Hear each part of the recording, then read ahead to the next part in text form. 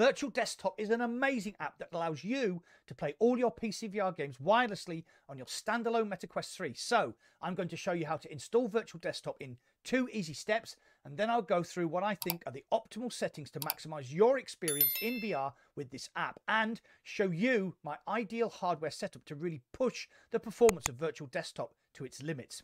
And we might talk about codecs at the end if you haven't fallen asleep by then. Excited?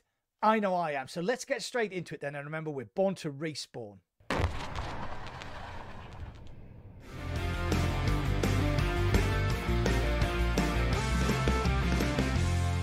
Before we start, I will be focusing on how to install and set up Virtual Desktop on my MetaQuest 3, but this process works with the original Quest, Quest 2, Quest Pro, Pico Neo 3 Link, Pico 4, HTC Vive Focus 3, and XR Elite as well. I've broken the video down into four sections installing virtual desktop on your headset and PC in two easy steps, recommended settings in headset and PC streamer app, recommended hardware setup to optimize virtual desktop. Finally, we'll discuss the various OpenXR runtimes and available codecs. I've inserted chapters into this video so you can jump to the part of the video that interests you most. You're welcome. Okay, let's get into it then. Part 1 Installing Virtual Desktop in two easy steps. Step 1 Open the Meta Store on your Quest headset, search for Virtual Desktop, purchase and install it. The app is currently on sale for $14.99 in the UK, but you can get a 25% discount if you use my referral code, which I've linked down below. I'm going to say this because I get asked every time I make one of these videos. You must buy the MetaQuest version of Virtual Desktop from the MetaQuest store, either in headset or via the phone app. This is the only version that allows wireless game streaming to your standalone headset. This applies to all Pico and HTC headsets as well. Step 2. Go to the virtual desktop website here and download the Streamer app. This clever piece of software fools your Quest headset into thinking it is directly connected to your PC by using a virtual server. And that is a very simplistic explanation for a very complicated solution. But I am a simple man. If you run into any problems, Virtual Desktop now has an AI chatbot that can answer any queries directly, so just click there. The next three parts of the video are a deep dive into the various settings, hardware, and codecs that I use, but basically, that's it. How easy was that? Okay, moving on. Part 2 Recommended settings for the PC Streamer app and VR app on the headset. The next stage is to start optimizing these settings for your PC hardware, so we'll start here with the Streamer app. On your desktop, click on Hidden Icons, highlight the Streamer app tab, right click and open Settings. Accounts. Click Change, then input your Meta, Pico and Viveport usernames. Bindings. This gives you hotkey options for switching between monitors and VR. Options. Copy the settings I have here, but I will be coming back to the OpenXR runtime and preferred codec later, so make sure you watch to the end of the video for that. One important box that needs to be ticked is automatically adjust bitrate, which was recommended by the developer Guy Godin, as shown down below. Media. This tab allows you to add any videos that you have on your PC, which you can watch on a giant screen in VR.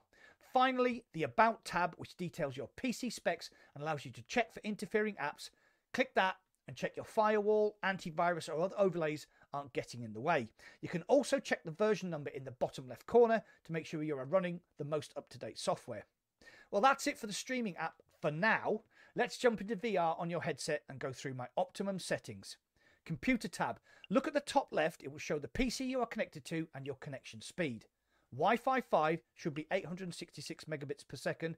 Wi-Fi 6 should be up to 1200 megabits per second. And if you own a Quest 3 and a Wi-Fi 6E router, you should be getting a frankly ridiculous 2400 megabits per second.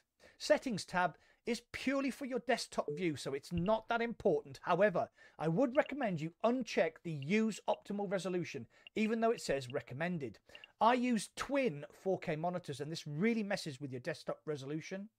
Streaming tab. This is the important one and is where you will spend most of your time fiddling to get the optimal settings for your hardware setup.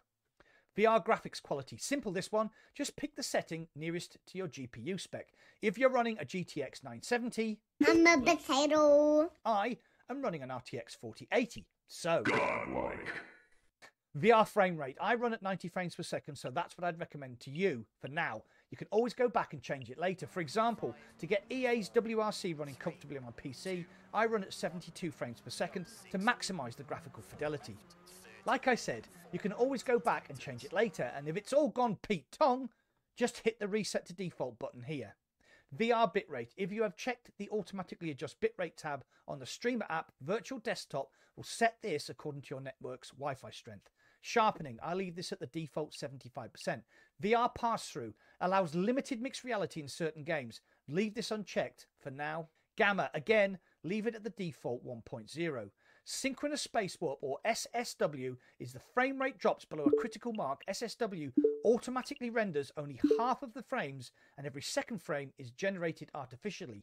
Currently, I have this disabled as it can cause shimmering and distortion in some games. I find it better to tune a game to run at your preferred frame rate using the Streamer tab, in game graphics settings, and Virtual Desktop's performance overlay, which I will talk about in a second. Snapdragon Game Super Resolution, an ingenious technique which automatically upscales an image to increase detail utilizing the Quest's Snapdragon XR2 chip with no apparent hit in performance. Make sure this is checked. Video buffering. This can reduce microstutters but adds a lot of latency. My preference is to uncheck this box. Center to play space, check. Tracked controller, check. Forward tracking data to PC, unchecked for now. Increase color vibrance, checked. Increase video nominal range. I think this makes dark spaces way too dark, so I leave this unchecked. Show performance overlay. As mentioned earlier, this is a great tool for fine tuning your settings in real time. Use this to see where your system is bottlenecked. And that's it. Please bear in mind these are my settings optimized for my PC setup. Everyone's system will be different, so maybe use these as a base for setting up your PC then fiddle away to your heart's content. Remember, if it's all gone Pete Tong, just hit the Reset to Defaults tab. Part 3 Recommended hardware setup to optimize Virtual Desktop. Before we go any further, Virtual Desktop is not interested in your internet speed. It is only concerned with the strength of your Wi Fi signal, which you can check here. Your PC must be connected to your router via an Ethernet cable, and your Quest must be connected to the 5 or 6 gigahertz Wi Fi channel of that router. No ifs, no buts. It will not work if this is not strictly adhered to. That is the base setup. The ideal setup, though, is to have a second dedicated router connected via Ethernet to your main router just for virtual desktop. I have this TP-Link Archer AXE75 Wi-Fi 6E router specifically for virtual desktop, which is a bit of overkill to be honest. You could just pick up a much cheaper Wi-Fi 5 router, just make sure it has gigabyte LAN ports. I've had people complaining that they cannot get an Ethernet cable to their PC because of where it is. Well, I work from a garden office and ran an Ethernet cable through the house, through the garage into my office. But if this is not possible for you, for whatever reason, then you need one of these, a power line adapter. This clever little device uses your house's electrical wiring to get internet to anywhere in your house that has a domestic electricity supply plug. Plug it in next to your main router, connect via Ethernet, then plug the other box into a socket near your gaming PC and connect with an Ethernet cable. I used these for years and found them to be easy and reliable. Part 4 OpenXR runtime and available codecs. On the PC Streamer app, the developer has added a new runtime called VDXR, which bypasses Steam VR runtime and gives extra performance. In some tests, users found an increase in performance as high as 10 frames per second, which is really impressive. Give it a try and see if it works for you. Now, onto the thorny topic of codecs, which, if you've stayed to the end of the video, you must be a proper geek like me. I'll get this out of the way first. I'm a big graphics tart, so I'm not bothered about a bit of extra latency if I get all the shiny things. So this part of the video is personal preference.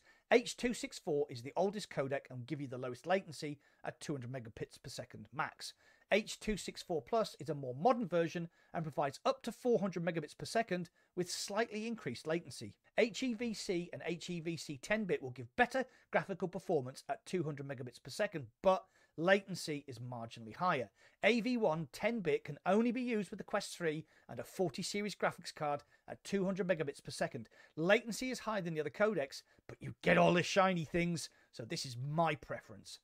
In conclusion, Virtual Desktop is an essential purchase in my opinion. Being able to play any PC VR title wirelessly on your Meta, Pico or HTC headset is a peerless, liberating experience.